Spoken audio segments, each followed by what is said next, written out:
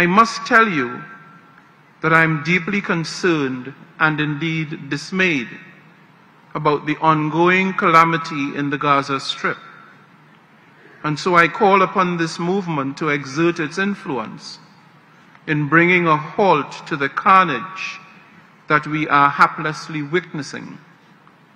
That situation behoves us to ask, how much is enough? United Nations General Assembly President Denis Francis has said after various iterations of war over several decades, he is convinced that a negotiated political solution was the sole path through which both Israel and Palestine can realize their fundamental right of peace. As President of the General Assembly, I will support and encourage any and all initiatives to that end. You can count on me to remain steadfast in that commitment. It is precisely for these reasons that I chose peace. Let us strengthen the prospect for peace through investing in human security. Let us respect and uphold human rights.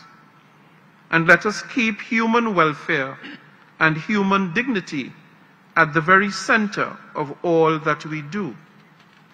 This is clearly the intent of the Charter in the expressions, we the peoples of the United Nations. Israel launched its offensive in Gaza in response to a cross border assault by Hamas on October 7, 2023, which reportedly left 1,300 people dead. Since then, more than 23,200 people, mostly women and children, have been killed in Gaza, according to the Hamas run health ministry. Hamas was designated a terrorist organization by Israel and many Western nations, including the US. On January 15, 2024, Palestine implored NAM to help end Israel's offensive in Gaza. I urge the NAM to undertake an in depth assessment of the new agenda for peace, given its focus on conflict prevention.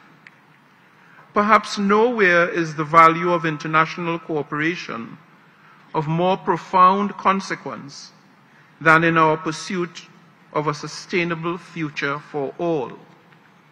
Indeed, our promise to leave no one behind hinges on our ability to build strong and diverse partnerships. Report compiled by Wumaru Kashaka for the news.